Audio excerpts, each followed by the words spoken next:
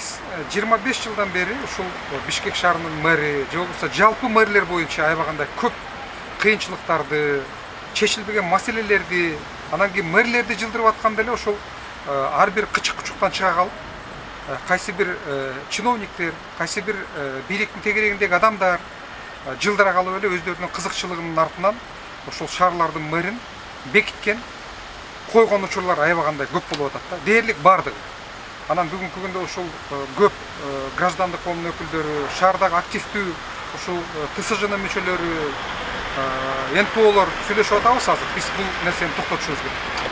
Бишкек шаарынын мэри азыркы учурда дагы эле кайра айланып келип ошол трайбалисттердин регионалисттердин жашыруун сүйлөшүүлөрүнүн негизинде азыркы жаңы мэрди сүйлөшүп атканы бул биз туура эмес деп эсептейбиз. Адилетсиз деп эсептейбиз дагы. Мына бүгүн биринчи тегерек столду уюштуруп атабыз.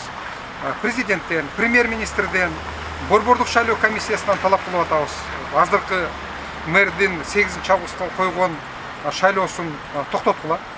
Биз азыркы реалдуу закондун негизинде мэрди ачык айкын адилеттүү атаандаштыктын негизинде шайлай турган шарт түзөлү андан кийин гана мэрди шайлоого баардыгыбыз баралы дагы бүт баардык бишкек шаарынын жашоочулары баардык активдүү саясатчылар баардык партиялар граждандык коомдун өкүлү ошону менен бирге бийлик дагы катышсын дагы мэрди ачык айкын шайлайлы деген сунушту берип атабыз.